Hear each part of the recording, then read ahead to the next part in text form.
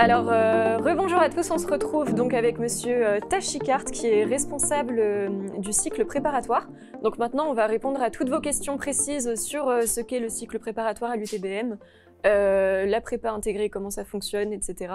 Donc juste avant de commencer à répondre à vos questions, on a une petite présentation que monsieur Tachikart va vous réaliser maintenant. Bonjour, je, je vous remercie d'être présent pour cette euh, présentation en live euh, pour euh, les portes ouvertes. Normalement, les journées de portes ouvertes qui sont en présentiel, mais vu les conditions, nous sommes obligés de faire avec et j'espère que les éléments qu'on va vous dire vous donneront envie de venir nous rejoindre à l'UTBM. Donc, ma présentation pour le tronc commun va se passer en trois petits points. Le premier, c'est qui et comment. Le deuxième, comment. Et le troisième, pourquoi. Tout ça pour relativement donc euh, au cycle préparatoire de, de l'Université de technologie de, de Belfort-Montbéliard. Euh, ce cycle préparatoire, en langage interne, nous l'appelons le tronc commun. Alors, euh, qui est, ce, est le tronc commun? Donc, prépare aux formations d'ingénieurs qui se passent normalement sur cinq ans. Donc, le tronc commun n'est pas à dissocier du cycle ingénieur dans sa globalité. Donc, nous sommes une école d'ingénieurs en cinq ans. Et euh, le tronc commun est quelque chose de fondamental parce que ça permet de, donner la base euh, de, de, des éléments scientifiques et techniques euh, et sciences humaines fondamentaux qui préparent à, la, disons, à la carrière d'ingénieur. Et donc, qui et comment, ça veut dire qui peut candidater au tronc commun et comment, donc qui? Eh bien, tous les étudiants donc, du secondaire qui, qui ont suivi les formations euh, les spécialités de mathématiques et euh, mathématiques euh, complémentaires avec une ou deux formations scientifiques. Et, comment? Eh bien, comment? Donc, il y a un dossier à présenter en relation avec, bien sûr, sur Parcoursup, que vous devez bien connaître actuellement. Et donc, sur Parcoursup, vous avez un enchaînement de dates, un enchaînement de, procédures. Et c'est très facile à consulter et il faudra suivre. Donc, vous avez là tous les renseignements dont vous aurez besoin pour constituer votre dossier. Donc, ce dossier, bien sûr, va comporter vos notes de première et de terminale, votre euh, euh, dossier scolaire euh, et, très important, un dossier et qui comporte votre euh, formation, enfin le dossier de formation motivé, c'est en quelque sorte les motivations qui vous poussent à devenir ingénieur. Ce sont des éléments qui sont très très importants pour nous. Et donc ce, dossier-là, est, il est analysé, il est étudié par euh, euh, pas seulement donc nos, enseignants et donc les personnes qui sont chargées du recrutement, mais en même temps, donc, il peut aussi aboutir, à, par exemple, vous voulez venir à l'UTBM, il peut être analysé par des enseignants et des structures de l'UTC, par les structures de l'UTT, et puis finalement, donc, vous aurez euh, une réponse par rapport à ce dossier. Et le deuxième élément fondamental, c'est l'entretien. L'entretien, donc, il se passe euh, auprès de chez vous, de chez vous, euh, avec des psychologues, avec des enseignants, qui donnent un avis sur votre adaptabilité, disons, à la, formation d'ingénieur. Donc, il faudra que vous soyez euh, préparé à ce niveau-là, que vous ayez une certaine euh, euh, position par rapport à votre carrière et que vous ayez réfléchi et construit votre projet euh, professionnel. Le deuxième point, donc, comment se, euh, se passent les enseignements, comment sont-ils organisés en, en, cycle préparatoire? Eh bien, ils sont organisés en modules qu'on appelle unités de valeur. Ces unités de valeur sont catégorisées par rapport au, euh, au champ scientifique et technique. Vous avez des connaissances scientifiques, vous avez des, des acquisitions de compétences techniques, vous avez des éléments de sciences humaines et de langue, et il y a des stages, euh, qui, qui compte aussi. Et l'ensemble de ces éléments constitue ce qu'on appelle le profil de tronc commun. Et vous avez euh, euh, la possibilité de valider ces connaissances en trois semestres, quatre semestres ou cinq semestres, selon votre préparation, selon vos niveaux de, connaissances antérieures et selon votre assiduité. Les plus rapides eh bien, pourront, dès le, troisième semestre, valider ce tronc commun.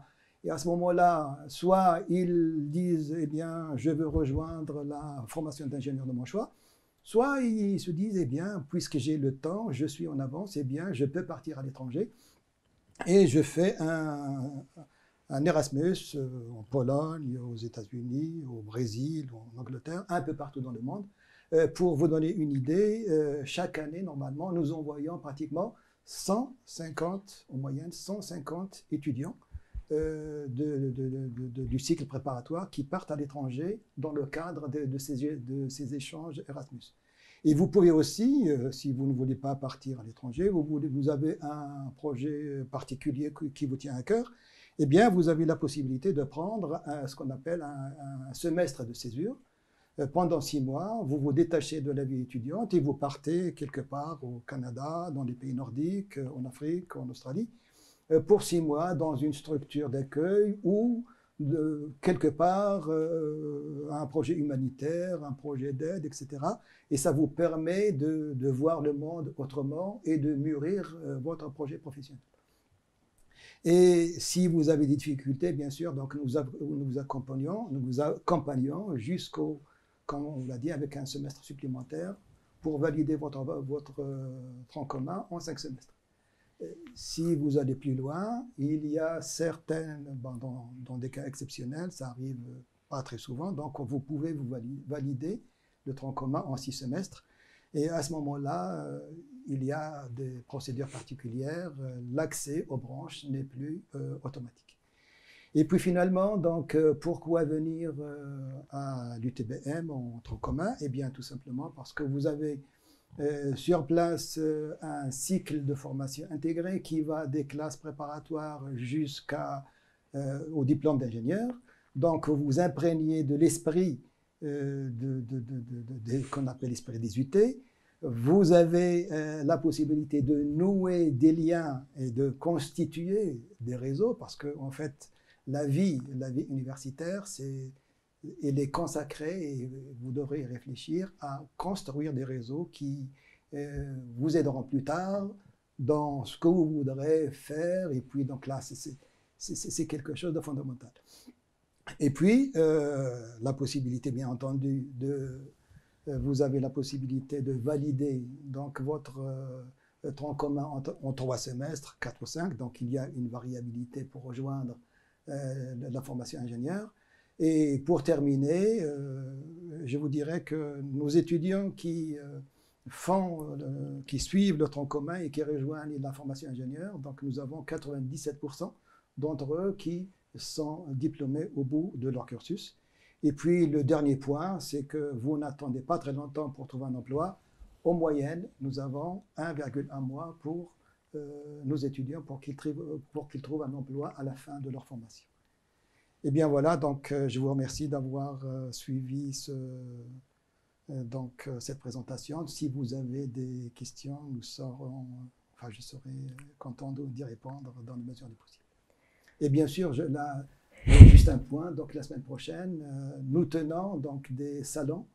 Euh, donc Elodie, on a parlé tout à l'heure, où euh, des, enseignants du tronc répondront à vos questions dans des chats qui seront définis ultérieurement. Merci beaucoup. Alors peut-être que pour commencer, on peut répondre à une question que beaucoup d'étudiants doivent se poser, c'est par rapport à ce nouveau bac euh, quelle spécialité faut-il choisir pour intégrer le tronc commun euh, bah, après, avec ce nouveau bac? Comment est-ce que ça se passe? Eh bien, pour les spécialités, donc en première, en première, donc il faut suivre une spécialité mathématique avec une spécialité scientifique de quelque nature qu'elle soit. Puis en terminale, il faut suivre, avoir suivi la spécialité mathématique plus une spécialité scientifique de quelque nature qu'elle soit, ou mathématiques complémentaires avec un minima deux spécialités scientifiques. C'est les seules conditions qui sont posées et ces informations, vous les trouvez sur le portail de l'UTBM, des UT, de l'ensemble des UT sur Parcoursup. Elles sont très clairement indiquées. C'est ce qu'on appelle les attendus et ce sont des éléments qui, sont, qui nous sont imposés par, par Parcoursup et ils sont clairement affichés. Donc c'est très très simple. première spécialité mathématique, plus une spécialité scientifique. Terminale, spécialité mathématique ou mathématiques complémentaires. Pour spécialité mathématique, une spécialité scientifique qui a collé. Pour les mathématiques complémentaires, deux spécialités scientifiques. Euh, il y a une question très spécifique sur NSI. Euh, NSI, est-ce que c'est une spécialité euh, qu'on a considérée comme scientifique? Oui, nous, on l'a prise en tant que telle.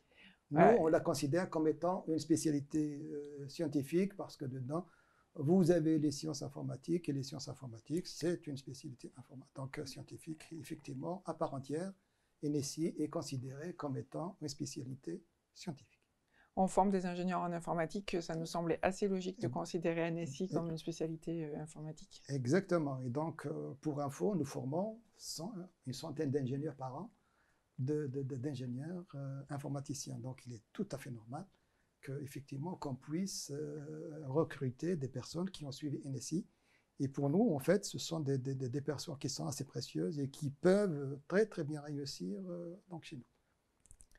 Alors, on a, une question sur les langues, donc on peut se demander, voilà, est-ce qu'une prépa intégrée, c'est seulement des matières euh, scientifiques très théoriques, ou est-ce qu'on a aussi euh, l'opportunité de faire d'autres choses euh, que, que, des sciences? Donc, je vais vous laisser y répondre. Alors, je, dirais que l'école d'ingénieurs, donc l'UTBM est une école d'ingénieurs. Donc, elle affiche, donc il y a ce qu'on appelle formation d'ingénieur sous statut étudiant. Donc, il y a euh, cinq formations d'ingénieurs euh, qui, qui vendent, donc il y a de la mécanique, il y a de l'ergonomie, il y a de l'énergie, il y a de, de, de, l'informatique, il y a des sciences, euh, les, systèmes industriels. Donc, quand vous, et puis pour les, les, formations sous statut d'apprenti, donc nous avons l'informatique, nous avons la logistique, nous avons le génie électrique et nous avons, disons, de la mécanique. Et donc, quand vous pouvez le voir, donc nous, nous sommes ici dans un champ euh, d'ingénierie, euh, mais en même temps, euh, nous avons un enseignement de sciences humaines qui est, qui est très large, qui prend pratiquement 20% de la formation. Et nous avons aussi des masters qui sont tournés vers des structures de, de management. Donc, je ne pourrais pas vous dire que vous pouvez faire ici de la philosophie ou de l'économie, mais il faut euh, vraiment adosser, si vous, êtes, euh, vous avez donc un, un, penchant qui est plutôt vers les sciences humaines, je vous conseillerais plutôt d'aller dans ce cadre-là.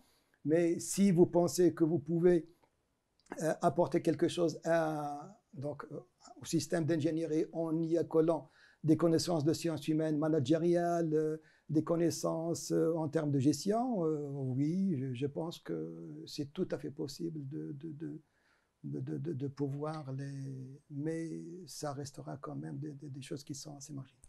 Donc, en fait, on a des questions sur, justement, sur l'anglais, sur euh, l'histoire-géographie, est-ce que c'est encore enseigné en tronc commun, ce genre de choses. Euh, donc, en fait, ce qui se passe sur le tronc commun, c'est que vous avez, euh, le, vous avez à peu près quatre matières scientifiques qui sont enseignées. Vous avez ensuite des, des, UV qu'on va appeler de culture générale qui vont vous, vous, former à, à, à l'ouverture au monde, à, questionner le monde, à, à s'interroger sur l'organisation, le management, essentiellement sur le tronc commun. Et puis ensuite, à partir du deuxième trimestre de tronc commun, vous avez des langues à chaque semestre. Donc voilà, il y a vraiment, comme le disait M. Tachikart, il y a vraiment un, un, ensemble cohérent entre technique et puis euh, connaissances scientifiques et puis euh, un peu de, de ce qu'on va appeler des, sciences humaines et sociales, des cultures générales, et puis des langues qui vont vous permettre en fait d'avoir un parcours complet. Euh, par contre, non, non, il n'y a plus d'histoire géo, mais il peut y avoir des histoires de. Vous pouvez choisir des UV en culture générale sur l'histoire des sciences et techniques, par exemple, si c'est une passion. voilà, mais du coup là, on est sur le choix des UV. Et donc, ce qui est bien dans un cursus dans les UT, c'est que euh, vous avez la possibilité de construire votre propre parcours et de choisir en fait euh, les, Donc, dans les disciplines scientifiques, il y a bien sûr quelque chose de relativement guidé, puisqu'il faut qu'on vous amène jusqu'au parcours d'ingénieur, mais avec quand même des possibilités de, naviguer entre différents types de, choix. Et puis, sur la culture générale, là, nous avons un choix euh, extrêmement important, ce qui vous permet de choisir si vous voulez faire plus du management, si vous voulez faire plus de l'histoire et des techniques, si vous voulez faire plus de la philosophie ou de l'épistémologie. Et donc, voilà, de vraiment vous ouvrir à un grand champ euh, de questionnement euh, pour vous former. Euh, on a de nouveau des questions euh, sur euh, on a de nouveau des questions sur les admissions, donc on vous renvoie à la vidéo qui a été diffusée tout à l'heure. On a également des questions sur les effectifs pour entrer dans les spécialités. Euh, sur euh, les spécificités de chaque spécialité. On, vous rappelle qu'il y aura des lives sur chacune de ces spécialités tous les soirs de la semaine. Et donc là, on est sur la partie tronc commun, donc on ne répondra qu'aux questions sur le tronc commun. Je suis désolée pour les autres. Euh, voilà, mais on va essayer de se focaliser sur ces questions-là. Alors, on avait une question sur le nombre d'heures de cours par semaine. Donc, bah, moi, j'ai eu la chance de faire le tronc commun, donc je peux vous répondre d'un point de vue étudiante. Euh, ça dépend des semaines, parce qu'en fait, vous avez des semaines avec des travaux pratiques, d'autres non. Donc vraiment, ça va varier. Après, euh, je pense que bah, c'est compliqué à dire, ça dépend des matières que vous choisissez, ça dépend de plein de choses, mais généralement, bah, c'est un peu préparé qu'au lycée au niveau, euh, au niveau des cours. Vous avez des journées qui peuvent aller de 8h à 17-18h avec des trous au milieu ou pas. Donc vraiment, c'est très variable. donc je peux pas trop vous répondre là-dessus je pourrais vous répondre sur cette question en vous donnant euh, un, cadre. C'est le cadre européen qui fixe euh, les, apprentissages par semestre à 30 crédits, c'est ce qu'on appelle les crédits, les crédits ECTS. Un crédit ECTS, c'est euh, la somme de travail normalement qui correspond à 25 ou 30 heures de travail global, y compris l'enseignement en présentiel et puis le travail personnel.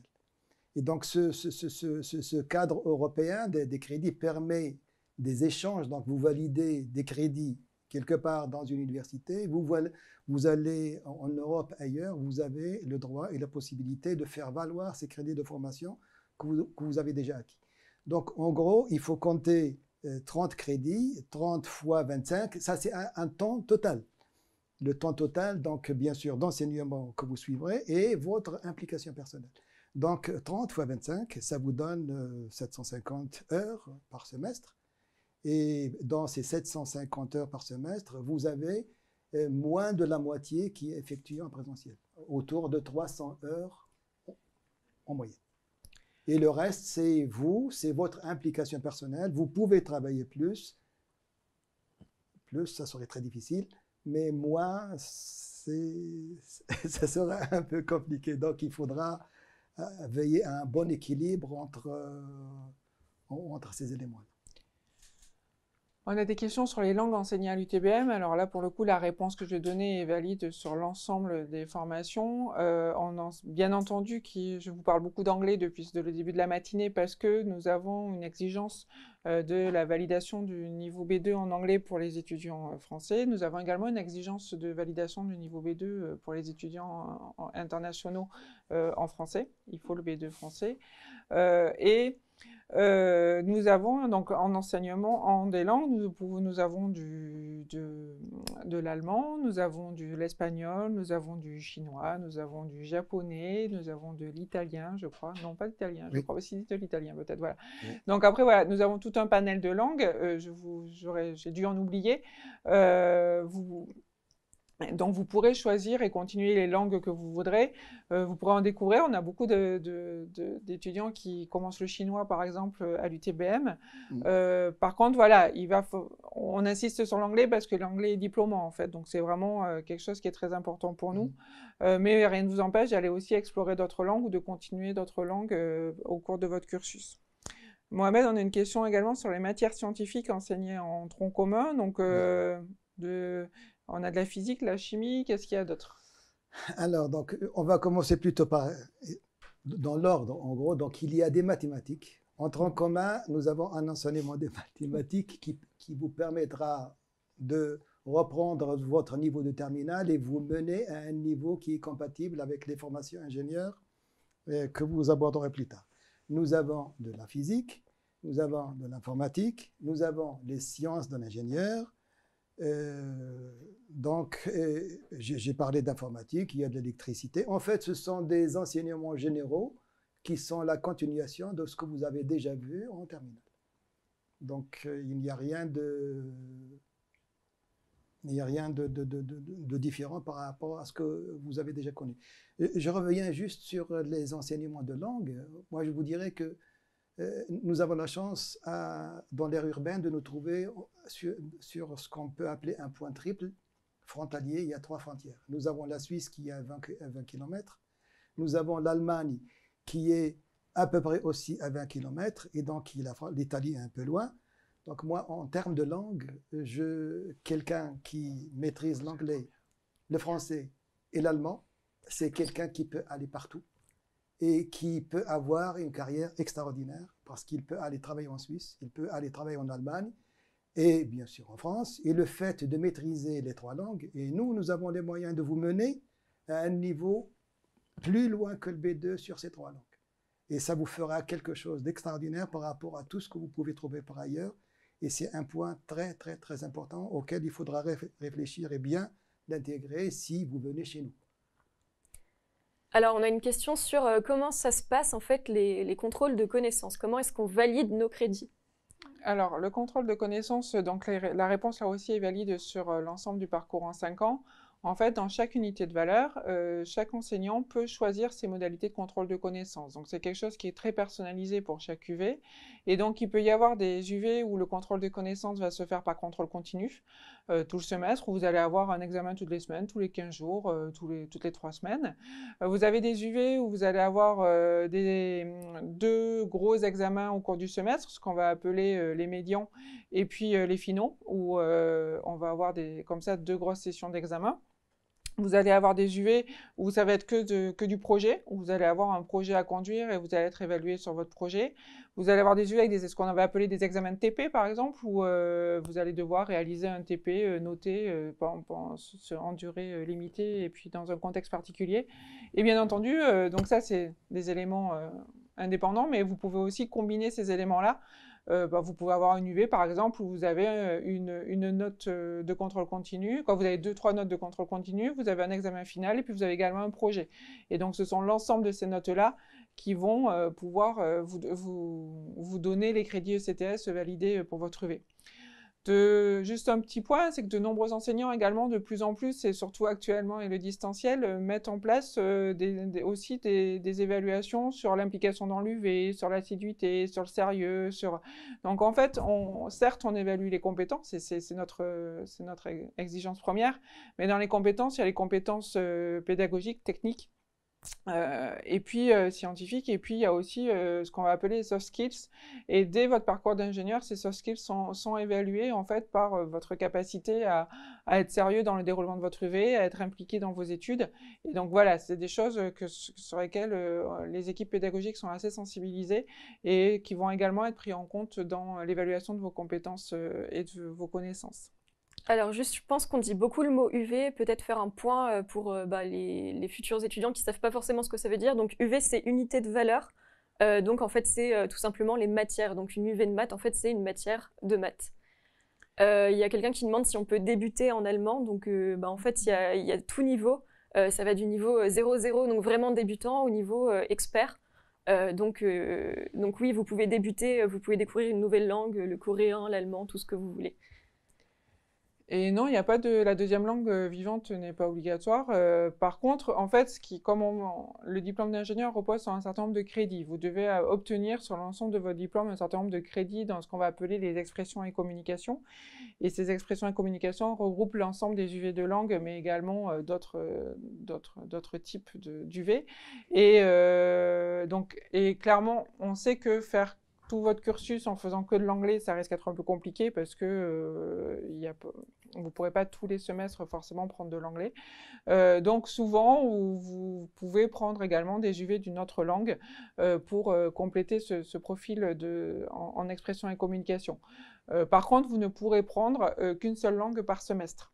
Euh, il n'est pas possible d'avoir plusieurs langues sur le même semestre, mais en fait, vous pouvez faire six mois d'anglais, euh, six mois d'allemand le, semestre d'après, etc. C'est vraiment exceptionnel en fait de, combiner les langues sur, euh, de prendre deux langues sur le même semestre. Effectivement, donc là, on ne peut pas prendre deux, deux langues sur le même semestre, sauf cas particulier.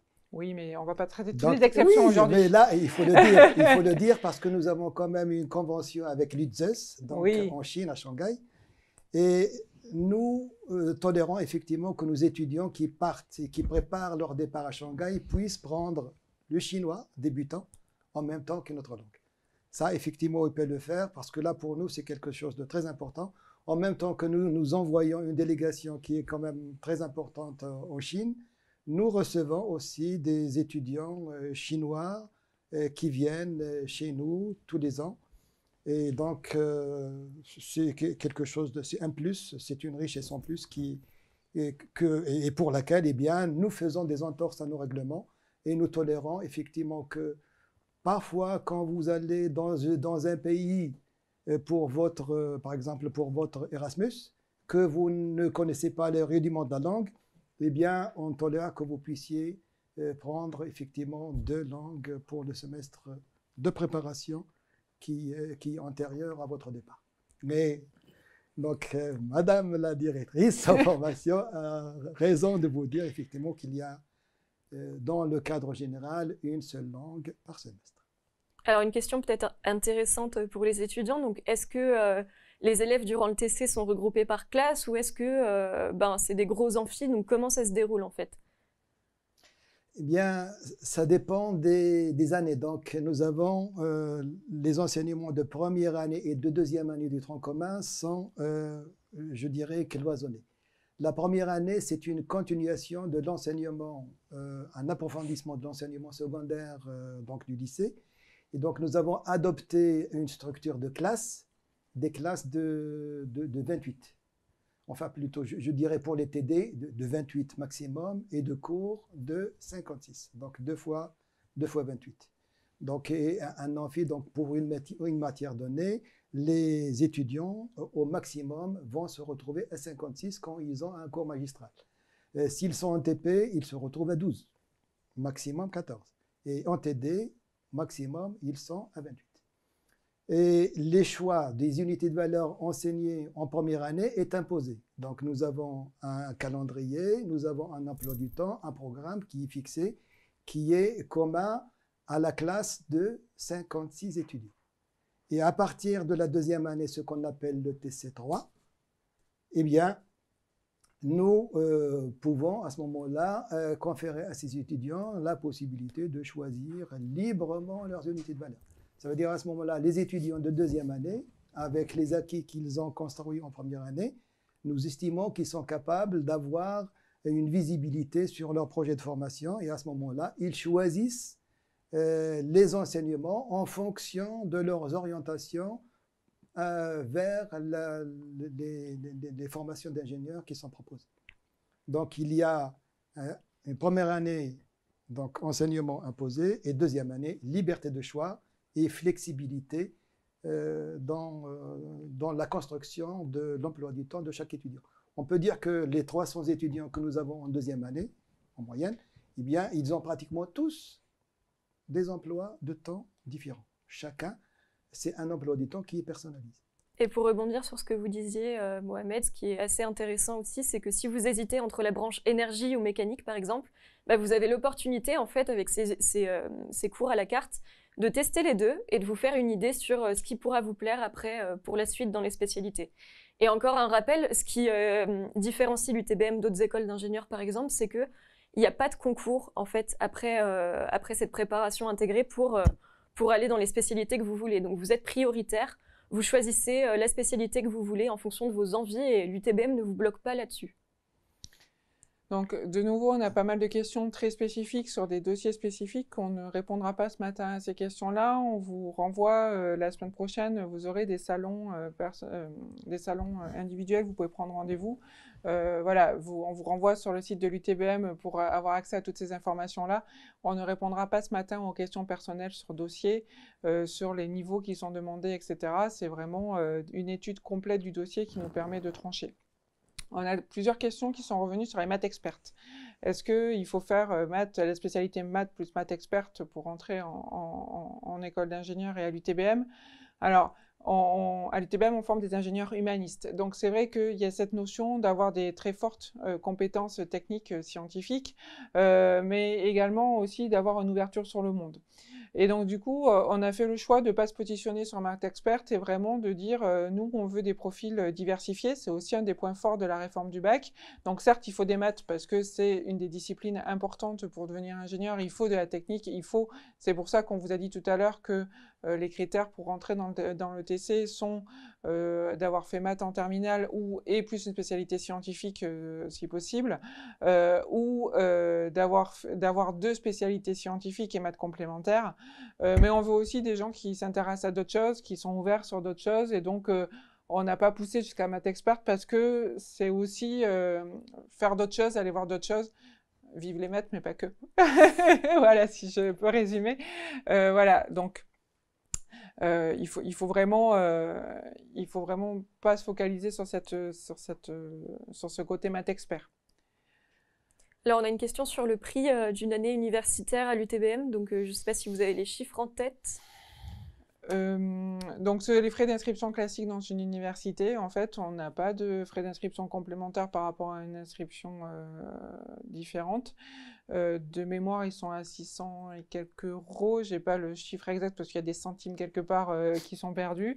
Euh, voilà. Mais donc voilà, j'ai pas. Mais on est sur les prix classiques d'une université comme d'une école d'ingénieur. Et à savoir que pour les boursiers, ces frais d'inscription sont exonérés. Mmh. Bien entendu. Peut-on changer de département si celui choisi de base ne nous correspond pas? Très, très, question très importante. Donc, oui, on peut. j'ai déjà répondu tout à l'heure, mais je, je, vais compléter. Mais on peut, on peut changer de département, code spécialité. On peut même, comme on le disait tout à l'heure, éventuellement changer d'UT euh, si on le souhaite. Euh, voilà, on, est sur un parcours personnalisé des étudiants. Alors bien sûr, tout ça est soumis à procédure, à dossier, etc., à avis des différents jurys. Mais notre objectif est vraiment d'accompagner au maximum nos étudiants dans leur cursus, euh, de leur permettre de construire leur projet professionnel et de les conduire vers un projet euh, qui, qui, leur corresponde. et donc, du moment qu'on peut mettre en place des solutions, on les cherche en fait. On est vraiment le principe d'une UT, c'est la, la, construction par l'étudiant de son parcours. Et donc, voilà, si, un étudiant n'est pas bien dans une spécialité et veut en rejoindre une autre et qu'il a les notes suffisantes qui lui permettent, on fera tout notre possible pour, favoriser ce, ces possibilités. Ceci dit, on vous encourage quand même à bien réfléchir en amont à, qu'est-ce que vous voulez faire, parce qu'on ne peut pas non plus faire changer tout le monde tout le temps. ça va être un peu complexe, mais euh, voilà, il y a de la flexibilité dans, le cursus. Alors, pour, sur, cette question, donc, on pourra aller un peu plus loin. Donc, effectivement, donc, nous, on n'aimerait pas que ça change tout le temps. C'est pour ça que nous avons mis des procédures d'accompagnement.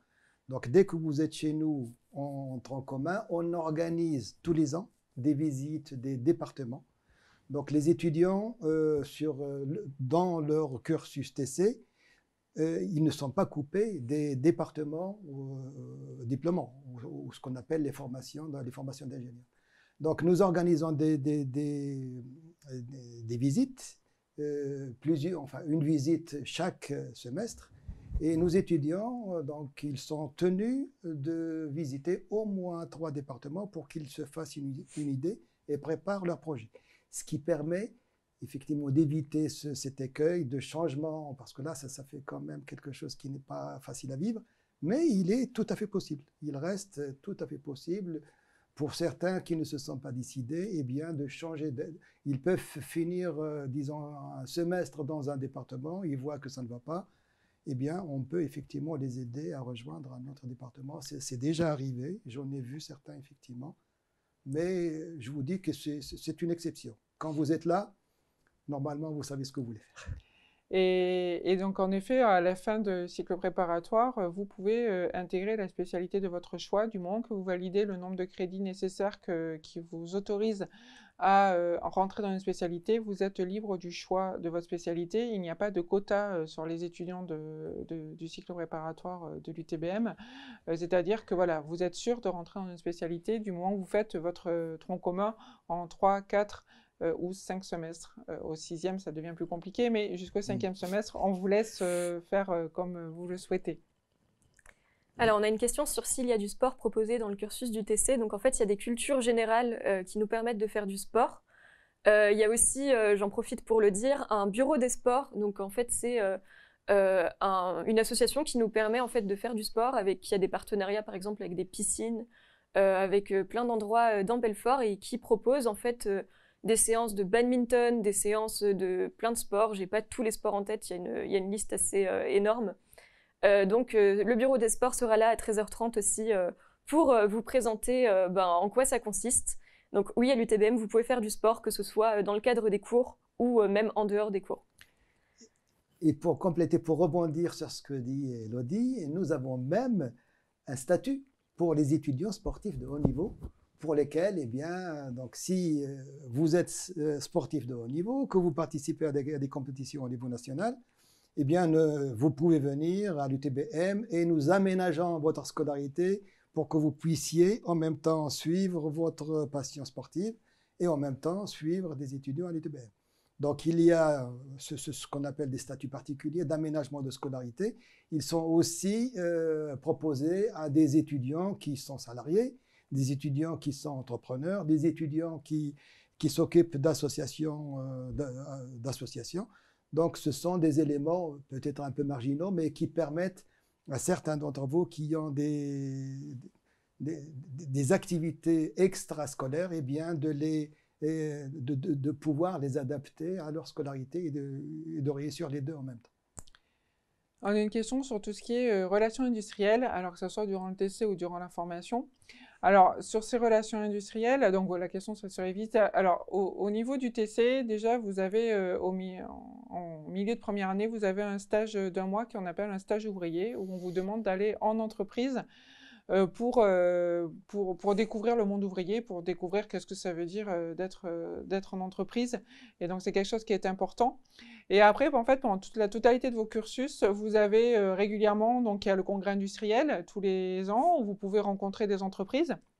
Vous pouvez, donc ce sont une cinquantaine d'entreprises qui viennent dans l'établissement pour que vous puissiez aller à leur rencontre. On a euh, régulièrement également des conférences industrielles. On a organisé un cycle de conférences euh, à l'automne euh, lors de la rentrée d'automne où on a des partenaires industriels qui sont venus présenter leurs entreprises. Là, on a une rentrée en février puisque vous pouvez rejoindre l'UTBM également sur la rentrée de février. Il y aura également trois conférences industrielles qui vont être proposées. Euh, donc euh, avec des groupes euh, industriels locaux comme Alstom, GE par exemple ou Forcia, mais également avec des, des, structures plus petites. On a notamment là des entrepreneurs des, qui vont venir présenter leurs projets. Et donc euh, voilà, il y a, euh, cette volonté de vous faire baigner dans le milieu industriel euh, pendant toute la totalité de votre cursus, de vous proposer des activités en lien avec le tissu industriel local notamment. on a également, alors malheureusement cette année on n'a pas pu le, conduire à, cause de la situation sanitaire, mais on a également un énorme événement qui est l'innovation Crunch Time où on va, on, un, on va dire c'est un hackathon géant où l'ensemble de nos étudiants de l'établissement se retrouvent dans une salle de spectacle et pendant 3-4 euh, jours vont faire euh, de l'idéation, vont réfléchir à des solutions en partenariat avec euh, une cinquantaine, soixantaine de partenaires industriels et, ou, et, ou de collectivités locales. Donc on a vraiment comme ça cette volonté de faire un lien étroit entre nos étudiants et le tissu industriel et socio-économique et pour vraiment c'est ce qu'on disait depuis le début, euh, pour ceux qui, sont là depuis 10 heures, c'est que l'une des spécificités du tronc commun euh, bah, à l'UTBM par rapport à, une classe préparatoire, c'est de, dès le départ, vous préparer au métier d'ingénieur et donc dès le départ, de vous baigner dans, ce, dans, dans ces problématiques industrielles et dans cette visée du monde professionnel qui est notre objectif euh, principal. Et je pense que ce que je peux rajouter en tant qu'étudiante, c'est que j'ai pu aussi avoir des cours avec des intervenants euh, qui venait du milieu industriel, donc c'est assez enrichissant, assez intéressant aussi. Donc ça nous permet d'avoir une vision plus concrète en fait du métier d'ingénieur. Donc, euh, donc voilà, donc euh, vraiment vous avez l'opportunité de rencontrer des industriels tout au long de votre cursus. Il y a vraiment plein de choses d'organiser pour ça. Donc, on n'a plus trop de questions. On a encore des questions personnelles, mais on vous a déjà dit qu'on n'y répondrait pas euh, sur le nombre de places, etc. euh, en fait, il n'y a pas de nombre de places fixées par spécialité, etc. Euh, c'est vraiment sur l'ensemble des dossiers. On a sur, euh, on reçoit, je sais pas, euh, donc sur ETC, on disait tout à l'heure, il y avait plus de 4000 dossiers. Euh, sur une spécialité moyenne, on est à peu près à 600 dossiers par spécialité. Et là, on va étudier les dossiers un par un, et puis on va regarder, et, mais on fait pas des stats lors des admissions sur est-ce est de là d'où il vient, combien on en prend. C'est pas du tout comme ça que se passent les jurys d'admission. On regarde les dossiers un par un, et puis fonction de l'homogénéité globale du dossier, entre euh, les notes, les classements, euh, le niveau d'anglais euh, et également la note d'entretien dont on parle depuis tout à l'heure, qui, est une note qui vraiment est importante pour valider votre motivation, votre capacité à travailler en projet, etc. L'ensemble de ces éléments vont faire que le jury d'émission va prendre une décision. Donc euh, sur la question, Elodie vient juste de répondre en fait sur le fait que oui, il y a des cours qui sont dispensés par des enseignants-chercheurs de l'UTBM euh, ou par des enseignants euh, de l'UTBM. Et puis il y a également des intervenants externes à l'UTBM. Donc on a un certain nombre de vacataires industriels qui viennent là pour quelques heures de cours parfois, ou pour même qui des fois des UV complètes, quoi, des unités de valeur complètes sont gérées par des intervenants industriels qui se mettent au service de l'établissement euh, pour, euh, pour vraiment former euh, des étudiants à des, à des choses très spécifiques. Nous avons des partenariats très étroits avec des industriels de la région et qui sont régulièrement dans nos locaux pour venir accompagner les étudiants dans leur formation. Il faut savoir aussi que quand vous allez intégrer la spécialité à la suite du tronc commun, vous avez énormément de projets, de, cours, en fait c'est des matières de projets euh, sur lesquels vous allez pouvoir travailler avec des industriels en fait sur une vraie problématique euh, d'ingénieur. Donc c'est quand même assez intéressant. Alors comment s'est déroulé l'enseignement pendant le Covid? Euh, Je pense que je pense que Florence peut répondre peut-être. Alors, l'enseignement pendant le Covid, alors on a comme on l'a dit tout à l'heure, on a une spécialité à l'UTBM, c'est que chaque, chaque, étudiant a son euh, à son propre emploi du temps. C'est l'une des richesses de l'UTBM, c'est que vous pouvez construire votre propre formation, votre propre parcours de formation et faire votre choix d'UV et faire votre, votre choix de, cursus. Euh, du coup, on n'a pas, pas de classe en fait, comme mis à part sur la première année de TC, mais le reste du temps, euh, on a des étudiants qui se croisent en permanence. Et donc forcément, en période Covid, c'est pas très simple. Euh, du coup, ça nous a obligés à mettre en place des mesures sanitaires relativement strictes. Euh, donc, on a commencé dès la rentrée de septembre en mode hybride, euh, avec en maintenant une partie des les TP essentiellement en présentiel, une partie des TD en présentiel et la majorité des, des cours magistraux en distanciel.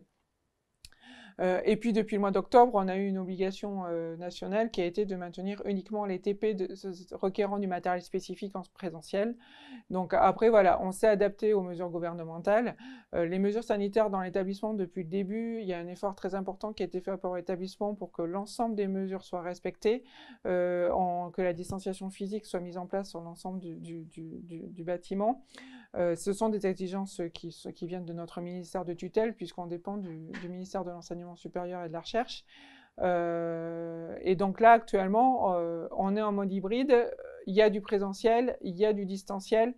Euh, les examens ont été à peu près 50% en présentiel, 50% en distanciel, pour vous donner un ordre d'idée. Alors, ce qui est important de noter, c'est qu'on a mis en place en fait tout ce qu'il fallait au niveau euh, des outils euh, pour assurer la continuité pédagogique.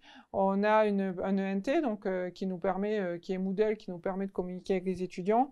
on a également utilisé des plateformes de visioconférence. et puis voilà, les enseignants ont fait leur maximum pour vraiment accompagner au mieux les étudiants. il y a une très forte mobilisation de la communauté enseignante et puis également de tous les services support pour que ça fonctionne. Et alors après, euh, bien entendu, on sait que c'est compliqué pour nos étudiants, euh, comme pour vous, euh, quelle que soit votre formation, c'est vraiment compliqué pour tout le monde, mais quelque part, on est contraint par des directives nationales qui font qu'il n'y a pas forcément beaucoup de flexibilité. Et, et dans l'ensemble, les retours qu'on a de nos étudiants, certes, on sait que c'est difficile, que les étudiants sont fatigués, mais, ils sont contents quand ils sont là. Ils arrivent même euh, avec le sourire les jours d'examen, pour vous dire, tellement ils sont heureux de retrouver les locaux. Euh, mais on n'a pas senti de décrochage massif, donc on a su euh, accompagner nos étudiants. Les étudiants étaient présents aux examens, donc c'est qu'ils ils sont encore là, ils sont encore motivés, et ça c'est le plus important. Et, si certains nous écoutent, ben on, leur dit de continuer à s'accrocher. On sait que c'est pas simple, et même pour vous, quel que soit votre cursus actuel, on sait que c'est pas simple, que ce sont des conditions euh, difficiles. Mais on est persuadé que vous ferez des ingénieurs qui seront euh, résilients, qui seront forts, qui auront appris à travailler en autonomie et qui sauront construire leur propre parcours. Et que c'est une épreuve compliquée, mais que c'est une épreuve qui vous forme aussi. Et que certes, il y a les compétences techniques, scientifiques qui sont acquises euh, dans les UV, mais il y a aussi tout ce que vous apprenez encore plus actuellement à côté des UV. Et ça, va falloir. Euh, nous, on est aussi là pour vous aider à le valoriser dans votre cursus. C'était une petite aparté, mais voilà. Alors j'ai vu une petite question sur euh, bah, faut-il savoir exactement ce qu'on va faire en intégrant euh, le tronc commun? Bah, Je peux vous parler de mon expérience. Moi, j'en avais aucune idée. Ah, bah, vraiment, j'ai intégré le tronc commun. Il y avait plusieurs spécialités qui me plaisaient, mais je ne savais pas du tout quoi faire. Et en fait, c'est vraiment en choisissant ces, ces, matières à la carte que j'ai pu découvrir euh, plein de choses et euh, que j'ai pu me faire une idée sur euh, ce qui pourrait le plus me plaire. Voilà.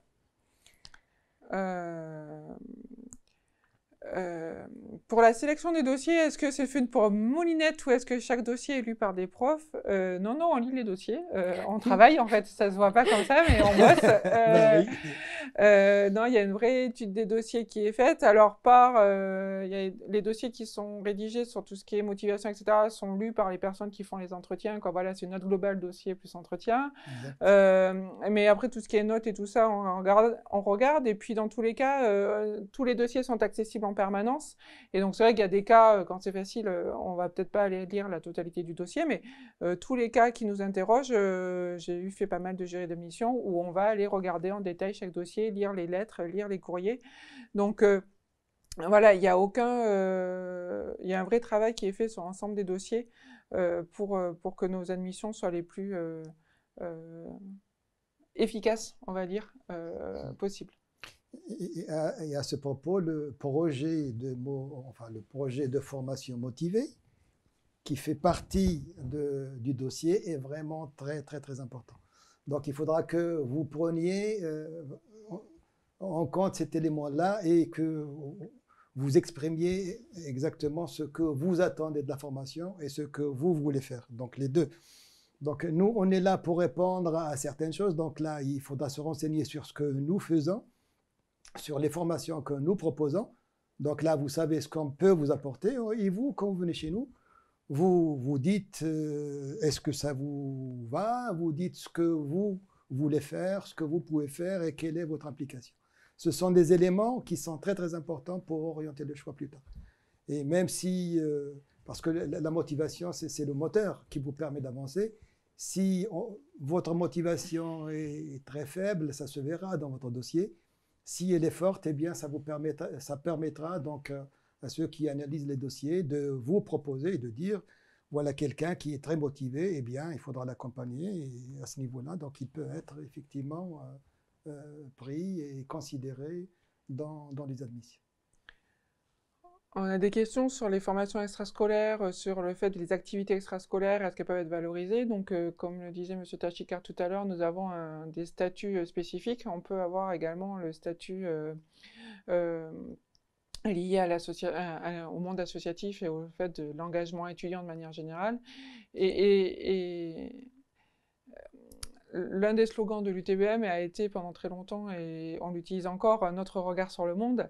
Euh, je pense que c'est pas euh, c'est pas anodin en fait, c'est qu'on cherche vraiment des étudiants qui, euh, qui, qui, qui, sont ouverts sur le monde, qui, qui sont curieux, qui, qui font d'autres choses et qui ont des profils variés. c'est ça aussi que recherchent actuellement les entreprises vis-à-vis des, des des nouveaux recrutements qu'ils font. Et donc oui, toute expérience, euh, quelle qu'elle soit, euh, et notamment extrascolaire, euh, peuvent être valorisées sans souci dans un dossier. Il ne faut pas hésiter à, mentionner ce type d'expérience dans votre dossier. Alors j'ai une question sur mon projet et vers quoi je me dirige. Donc je vais y répondre parce que comme ça, ça peut vous donner une idée de ce que vous pourriez faire après, après l'école d'ingénieur. Donc là, moi, il faut savoir que j'ai terminé mon dernier examen jeudi dernier. Donc là, c'est fini pour moi les cours normalement. je vais partir en stage de fin d'études, donc dans une entreprise en Suisse qui fait des établis d'horloger. Donc voilà pour vous donner une petite idée. Donc ça, c'est après ma formation en mécanique. Et pour aller faire quoi après, tu sais Peut-être?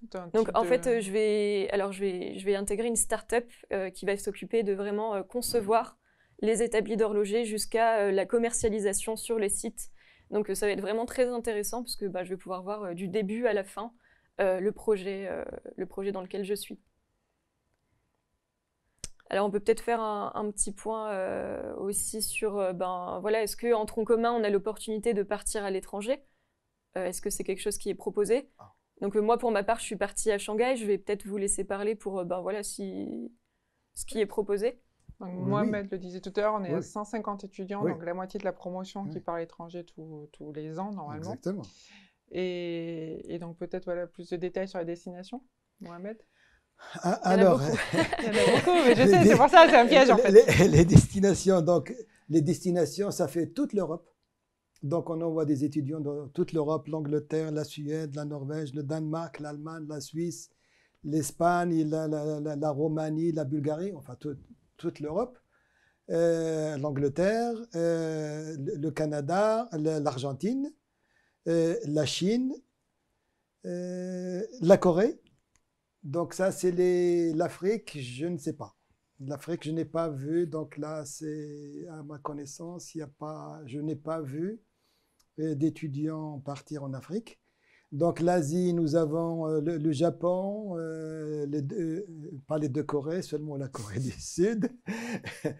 Euh, Vietnam, non. Donc pour le moment, il n'y a, que les, pays de l'Extrême-Orient et, et quelques-uns donc aux États-Unis. Mais là, le, plus gros, ça, part, ils partent, ils partent en Europe.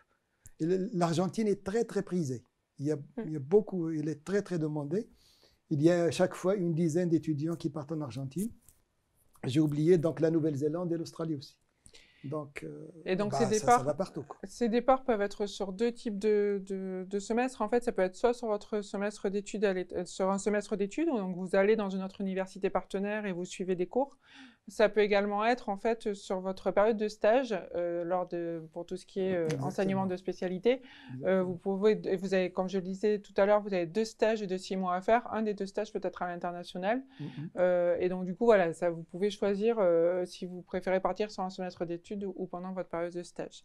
On a des questions très très techniques et précises sur l'apprentissage. Je vous rappelle que Damien Père sera là cet après-midi pour répondre à ces questions-là.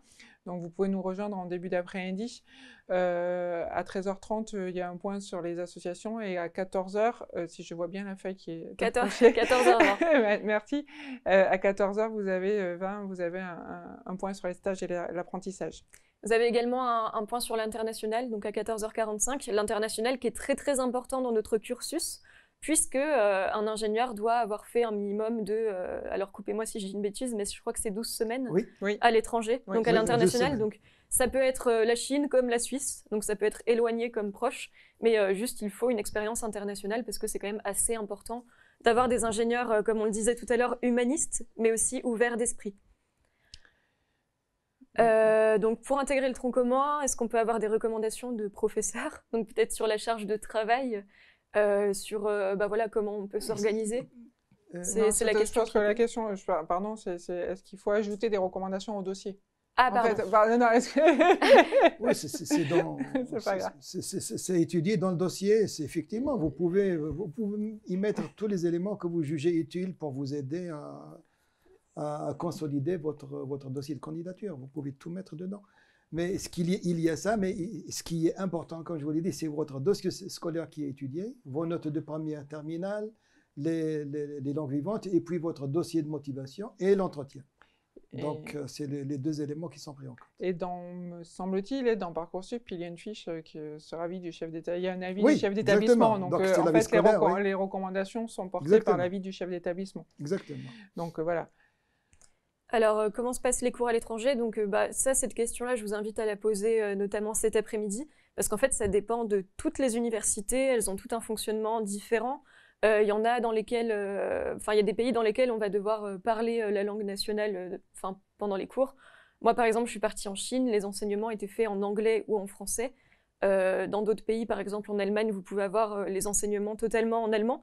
Donc, je, je vous invite à poser peut-être cette question plutôt à 14h45 euh, lors du, du salon sur les études à l'international.